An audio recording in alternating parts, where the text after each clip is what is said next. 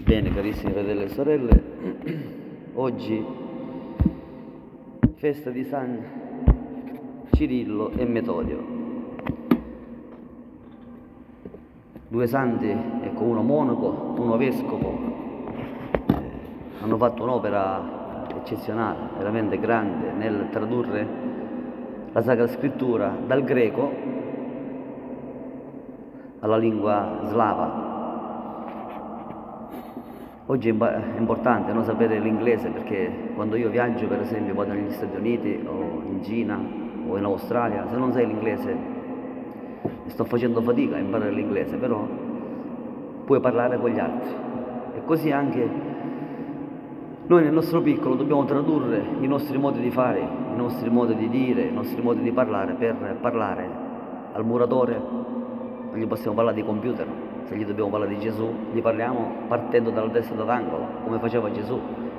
Ai pescatori parliamo dei pesci e poi arriviamo a Gesù, eh, ai pecorai con la pecorella, come faceva Gesù, ai contadini con la parabola del seme. Quindi dobbiamo cercare di tradurre le cose difficili che magari abbiamo capito in parole semplici. Oggi nella liturgia possiamo prendere particolarmente eh, due ecco frasi. Come pregare perché possano arrivare tanti operai nella Chiesa, specialmente dopo questo Covid che si sono svuotate le chiese in qualche maniera, in qualche misura, da qualche parte. E poi quanto è importante l'ascolto per avere la pace. E poi anche il fatto del lavoro, se ci arriviamo, lo diciamo anche in questo omelia, pregare perché vengono operai. Gesù oggi ha detto nel Vangelo di San Luca, pregate dunque il padrone della messe perché mandi operai alla sua messe, perché la messa è molta e gli operai sono pochi. Allora io quando ero all'inizio della mia vocazione mi chiedevo perché tanta gente prega ma operai ne vengono sempre pochi? Ma com'è che dobbiamo pregare perché possano arrivare questi operai? Perché sempre si prega perché gli operai sempre sono pochi? E Gesù ci chiede di pregare allora mi sono chiesto come pregare. È come una vocina, no? Mi diceva nella testa. Cioè, come se me stesso, io stesso dicevo a me stesso, ma continuo a leggere. E il Signore ci dice il modo come pregare. Ecco, io vi mando come agnelli in mezzo ai lupi. Non portate nulla per il viaggio, né oro, né argento, né bisacce, né pane, né tuniche né sandali del ricambio, come agnelli in mezzo ai lupi, mansueti. Allora non tutti è chiaro che possono fare come i primi apostoli, che vanno in giro senza niente, come diceva Gesù, o come i primi francescani, o come facciamo noi quando il tempo permette, andiamo in autostop e partiamo così, solo col saio e la Bibbia, e andiamo in Spagna, Portogallo, Francia, ci fissiamo un santuario e andiamo lì a passarci e chi ci prende alla fine diventa bello perché questo passo del Vangelo si può vivere alla lettera. Però non tutti possono fare questo. Allora che cosa può significare per tante persone questo passo? Perché arrivano operai nella mensa del Signore, nella messa del Signore. Dobbiamo essere staccati dalle cose materiali, dalle persone, dagli affetti, dagli averi, se la gente vede che noi siamo staccati dalle cose terrene, capisce che noi crediamo che c'è la vita eterna, capisce che noi crediamo che c'è la risurrezione del corpo, capisce che è tutto vero, come Casini ai tempi, quando ero all'inizio della mia fede, diceva di Giovanni Paolo II, questo quando parla si vede che crede a quello che dici. Allora se la gente ci vede staccate, capisce che noi crediamo e si incomincia a questionare, a farsi le domande e si avvicina a Gesù. E quello è il nostro guadagno eterno. Ma se la gente ci vede che parliamo di Gesù, ma poi con- concretamente non ci interessa completamente fare quello che dice Gesù, la gente lo vede e quindi non si converte nessuno e quindi gli operai non vengono in chiesa.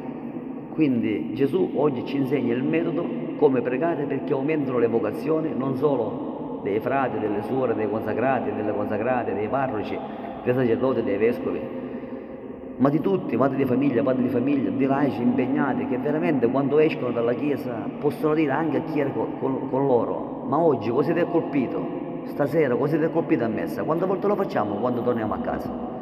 Dicendo in famiglia così ti è colpito oggi della chiesa, oppure ci sei stato in chiesa, oppure ci stai pensando all'anima con una battuta di scherzo, ci stai pensando alla tua vita eterna, al tuo destino eterno? Ecco la preghiera. Se quelli che ascoltano queste nostre parole capiscono che noi non siamo dei fissati o bizzocchi, ma siamo fissati nella vita vera, nella pace. Oggi Gesù dice a proposito di pace, quando entrate in una casa, gente che sono staccate dalle cose materiali, non solo i frati le suore i francescani, i primi i francescani, Gesù ci dice, se vi ascoltano, che non sono distratti allora la vostra pace scenda su di loro. Altrimenti, una volta in Messico mi è capitato che c'era uno che ha dato un passaggio con il camion da Cancun fino a Veracruz. Dovevo andare a Città del Messico, prima volta che andavo in Messico. Non parlavo bene lo spagnolo, però si capisce, sembra un, come il siciliano, insomma, un accento particolare lo spagnolo. Poi c'era la sorella che traduceva, adesso lo parlo, lo capisco lo spagnolo, prima no. E questo tutto il viaggio era senza la pace, parlava male dei sacerdoti, dei vescovi, dei cardinali, di tutti i cristiani. Ed era sempre agguerrito. Allora a un certo punto gli ho detto, hermano, io ero di qua, lui era di qua, ho detto, hermano, stop. Sono 5-6 ore che parli male di mia madre, che è la Chiesa. Tutto è tempo. Ora stop. Tu la pace non ce l'hai, io la pace ce l'ho. Dunque sono due le cose. O ti fermi e ascolti, ti fermi di parlare, non col camion, e ascolti, altrimenti fermi il camion e fammi scendere. Io stavo bene, ero ricco, perché c'avevo ricco, stavo bene, facevo le case, avevo un pub, eccetera, la palestra di bodybuilding, avevo gli operai, quindi stavo bene. Signore mi ha voluto povero per parlarti fino a qua dentro nel camion. Quindi sono due le cose, te lo dico una volta e non te lo dico più. O ascolti, o fermi il camion e fammi scendere. Io la pace ce l'ho, tu non ce l'hai. Se la vuoi, devi ascoltare, Gesù dice. Altrimenti, ti voglio bene, ciao. Mi ha detto, disculpe hermano, scusa fratello.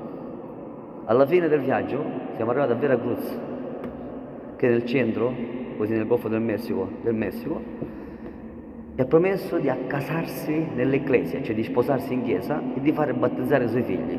E non smetteva di piangere dalla gioia perché aveva capito che stava sputando nel piatto di chi gli dava da mangiare di chi aveva dato la vita perché lui non andasse all'inferno. Allora se la gente capisce che noi diciamo sul serio quando diciamo le cose, allora ascolta.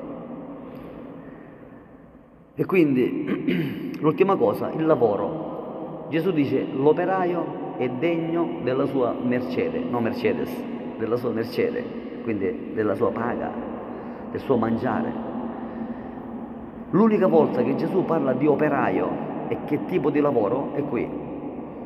Gesù parla in un altro passo del Vangelo del lavoro, però non spiega che tipo di lavoro. Qui lo spiega.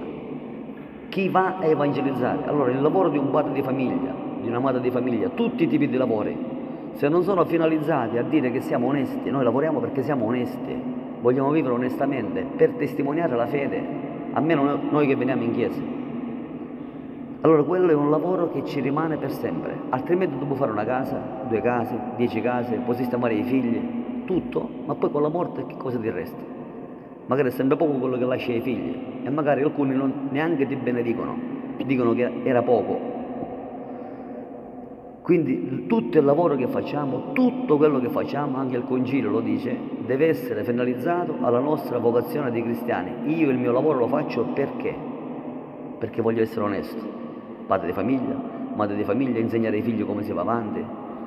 Io da frate il mio lavoro che faccio qual è? È finalizzato ad aiutare i poveri, a mensa dei poveri, progetto casa vacanza di qua, progetto case di là, eh, cappellini in Messico, quello che si può fare. Pur non avendo soldi, c'è chi vuole fare le cose e noi le organizziamo. Ma non sono le case o il pane o i vestiti che gli diamo, è che tu te lo fai amico per dire io veramente credo e ti do quello che ho nel nome del Signore. Però poi mia, il mio scopo, la mia finalità è quello di parlargli di Gesù e di avere fede in Gesù, così trova la pace, perché anche se viene la morte e ci investe, non ci può fermare, perché noi crediamo nella vita eterna e nella resurrezione. Allora se la gente capisce e ci guarda negli occhi e vede che noi crediamo a quello che diciamo, prende una bella boccata d'aria e si incammina ecco, verso la pace terrena e verso la vita eterna. E chi ha dubbi, come San Tommaso, riceverà le prove per la sua intelligenza e per il suo cuore. E poi sarà pronto anche a farsi uccidere come San Tommaso e come i santi martiri e soffrire come anche San Cirillo e Metodio e come San Corrado, che ci ha insegnato insomma l'esempio di dare il pane fisico, ma soprattutto il pane di mandare le persone al pane eucaristico, che è l'unico pane che ci dà la vita eterna e la resurrezione del corpo. Sia lodato Gesù.